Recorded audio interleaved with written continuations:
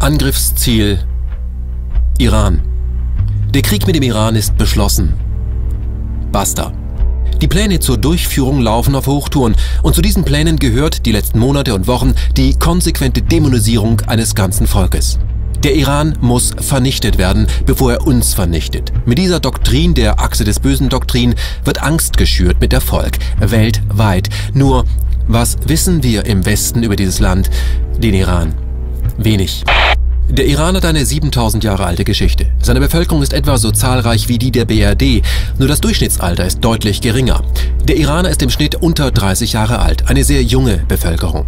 Und diese Menschen, ja, Iraner sind auch Menschen, verteilen sich auf eine Fläche, die sechsmal größer ist als Deutschland. Der Iran der Gegenwart kennt keine freie Presse.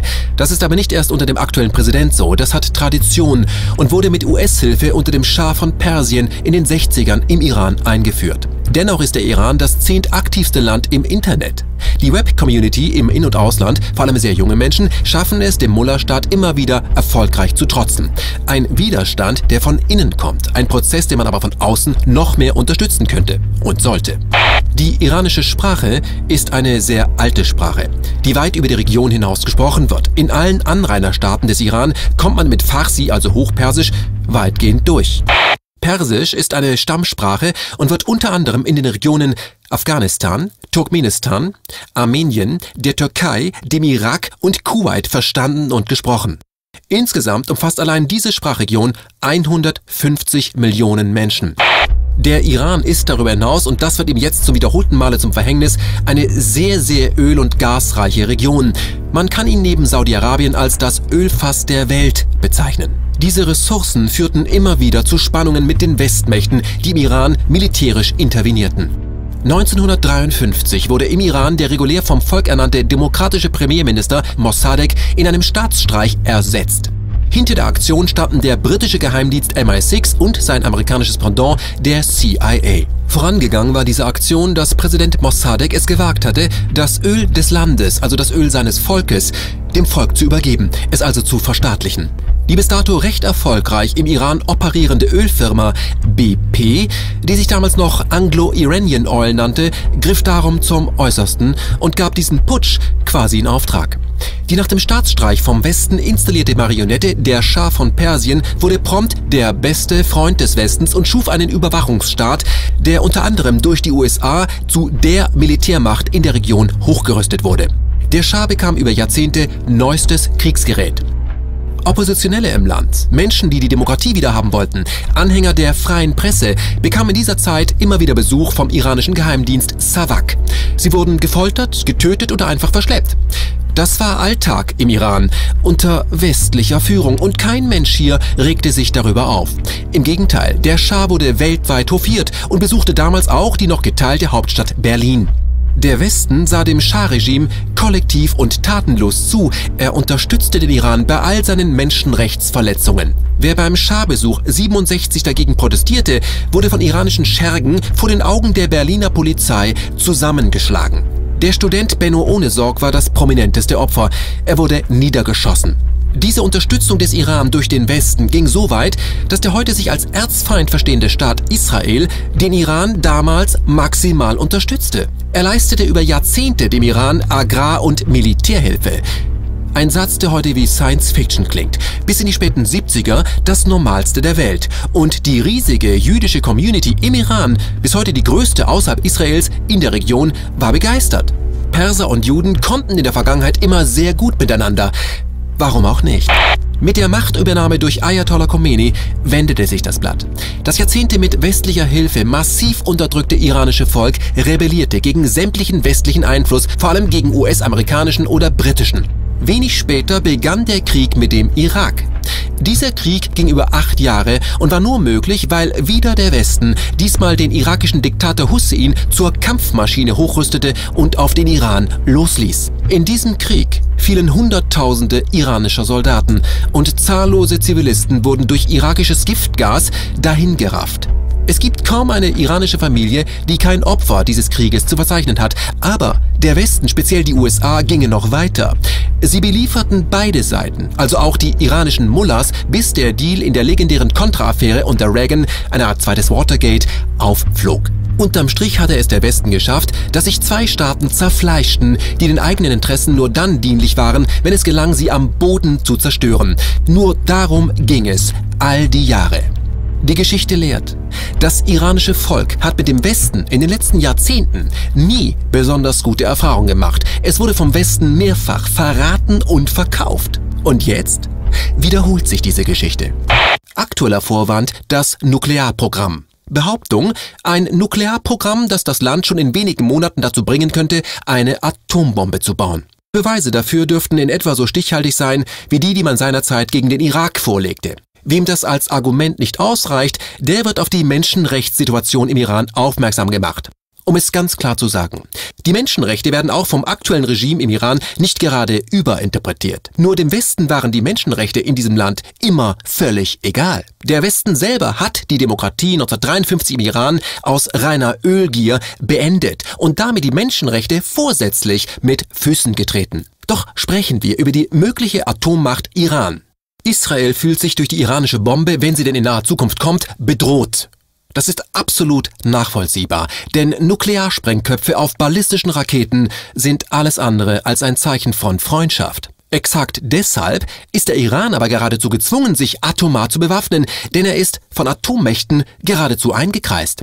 China, Russland, Indien, Pakistan und Israel, das selbst über 200 Sprengköpfe verfügt, sind die Nachbarn des Iran.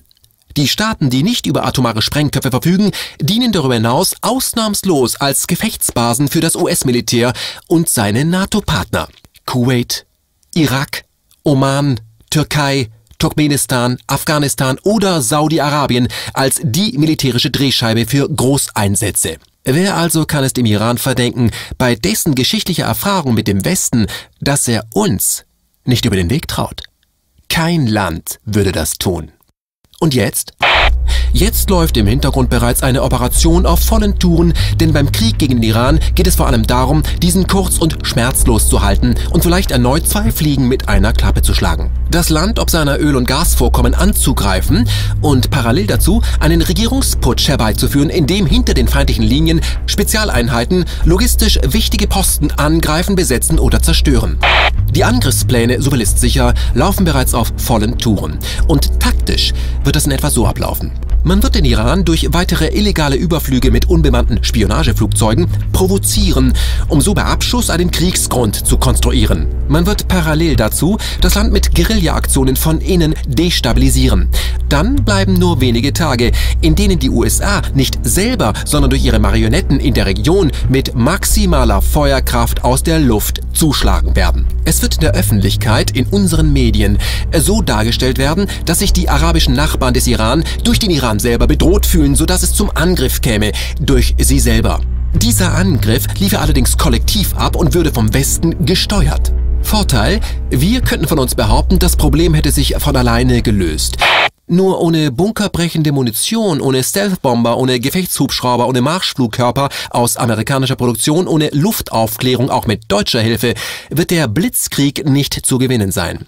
In diversen Angriffswellen werden die im ganzen Land vermuteten Nuklearanlagen angegriffen und bombardiert werden. Da einige der iranischen Anlagen sehr, sehr tief unter der Erde vermutet werden, werden bunkerbrechende DU-Munition oder Mini-Nukes zum Einsatz kommen. In diesem Punkt von einem chirurgischen Angriff zu sprechen, ist absurd, denn die Zahl der zivilen Opfer wird immens sein.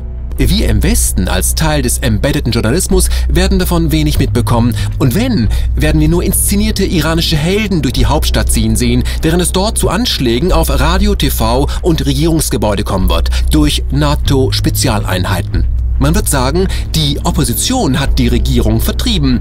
Nur diese Opposition wurde vom Westen vorab gecastet und eingeflogen. Der Westen wird das Land ins Chaos stürzen, um es dann mit einer plötzlich auftauchenden Übergangsregierung zu stabilisieren, wie unlängst Libyen. Libyen ein Land, in dem nach unserem Befreiungsschlag von oben 26.000 Bombereinsätze wieder die Scharia gilt, ohne dass das den Westen sonderlich stören würde. Warum auch? Das libysche Öl, es fließt doch. Die USA, aber auch Israel wissen, dass wenn sie sich entschlossen haben, den Iran anzugreifen, sie schnell handeln müssen, denn je länger diese Übernahme der iranischen Ölquellen dauert, desto höher ist die Wahrscheinlichkeit, dass die Situation in den arabischen Nachbarstaaten eskaliert. denn die jeweilige arabische Bevölkerung will diesen Krieg ebenso wenig, aber sie wird von den Machthabern mit westlicher Hilfe seit Jahrzehnten unterdrückt. Es muss also sehr schnell gehen, bevor das Pulverfass Nahe Osten detoniert und der Iran versucht, die Seewege für den Öltransport zu verminen und so den Dollarpreis für das Barrel in schwindelnde Höhen treibt. Eine letzte und keineswegs unwahrscheinliche Option ist ein nicht mit den USA abgestimmter Soloangriff Israels gegen den Iran, der parallel die Israelis dazu bringen könnte, die eigenen Verbündeten in der Region zu attackieren, um diese in den Krieg zu zwingen. Dieses Manöver wäre eine reine Wiederholung aus dem Jahre 67, als israelische Jagdbomber, deren Kennung zuvor unkenntlich gemacht wurde, das US-Aufklärungsschiff die USS Liberty, das vor der israelischen Küste kreuzte, angriffen, mit dem Ziel, das Schiff zu versenken. Die Liberty wurde dabei massiv beschädigt. Zahlreiche Matrosen fanden den Tod und selbst zu Wasser gelassene Rettungsboote wurden von den MGs der Jagdbomber attackiert. Die Idee dahinter war, dass die USA spontan in den Sechstagekrieg einsteigen sollten, was kurzfristig auch geschah.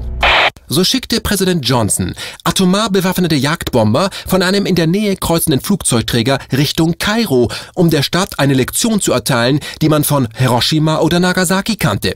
Die Amerikaner dachten, der Angriff auf die Liberty wäre von einem arabischen Staat gekommen, der sich mit Israel im Krieg befand. Dass das Manöver kurz vor einem Atomschlag gegen Ägypten doch noch abgeblasen werden konnte, hatte damit zu tun, dass Israel die USA eben noch informieren konnten, dass sie, Israel, die Liberty mit einem feindlichen Kreuzer verwechselt hatten. So wurde Kairo nicht atomar vernichtet und das völlig ahnungslose Ägypten nicht in einen Nuklearkrieg verwickelt. Glück gehabt.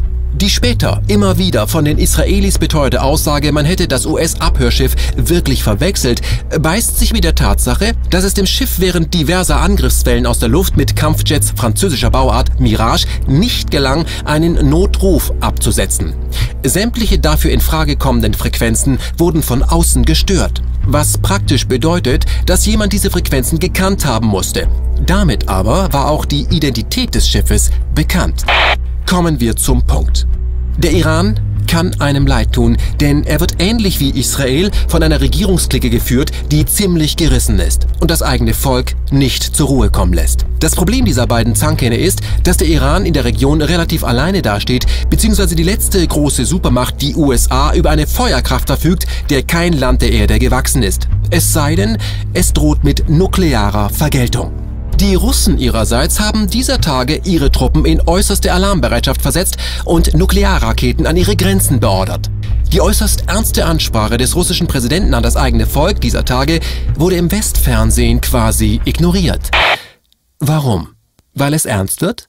Weil wir uns auf eine Art Kuba-Krise zubewegen? Eine militärische Auseinandersetzung mit Kernwaffen, die die Sprengkraft von Hiroshima oder Nagasaki bei weitem übersteigen? Diese Option schwebt dann aber latent über der bereits anlaufenden Operation Iran platt machen. Denn wenn der Iran tatsächlich auch nur eine einzige einsatzfähige Atombombe besitzt, wird er diese aus reiner Notwehr zum Einsatz bringen. Nicht mehr und nicht weniger steht auf dem Spiel. Ein möglicher, ein wahrscheinlicher Nuklearkrieg im Nahen Osten wegen Öl. Wir schrammen im Moment ganz dicht an einer unkalkulierbaren Katastrophe vorbei. Wie lange wollen wir es uns noch leisten, wegzusehen, in der Hoffnung, unsere Führungen werden schon die richtigen Entscheidungen treffen? Es gibt keine Alternative zum Dialog. Das hat El Baradei gesagt, Friedensnobelpreisträger 2005 und von 1997 bis 2009 Generaldirektor der Internationalen Atomenergiebehörde. Zwingen wir unsere Politiker zum Dialog miteinander oder ersetzen wir unsere Politiker?